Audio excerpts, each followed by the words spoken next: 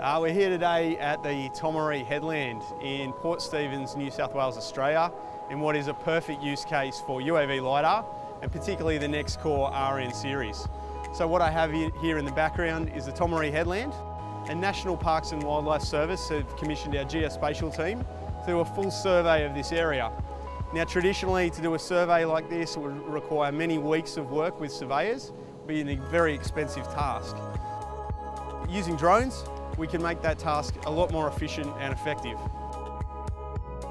Lots of people using drones will use photogrammetry to uh, do this kind of work and it has a drawback in this sort of circumstance where it's heavily vegetated.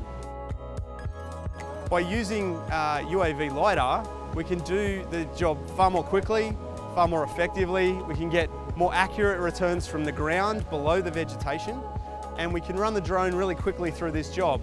So this 30 hectare site, we can do it in a single flight, maybe two flights and get the whole job complete. What we end up with is data that we can process within hours, not days, uh, and that allows us to give the client a more accurate representation of what's going on on this headland. In this case, we're talking about handing this data to a landscape architect so they can redesign the walkways on this headland.